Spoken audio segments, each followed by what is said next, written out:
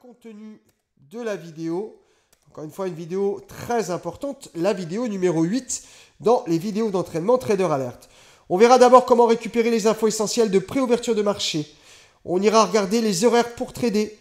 On ira regarder aussi les valeurs qu'on choisira, le Forex Future, CFD, Actions, Crypto-Monnaie, Commodities. Il y en a absolument pour tout le monde, quel que soit votre capital. Les convergences et divergences de marché. On identifiera les leaders, on va identifier les tendances. On va utiliser les indicateurs techniques et les optimiser. Très peu, vous connaissez mon point de vue face aux indicateurs techniques. On va prendre, gérer et sortir de la position. Savoir trader les statistiques économiques. Money management et gestion du risque. Choisir ses tailles de position. Margin call et levier. Acquérir la quasi-certitude grâce aux probabilités.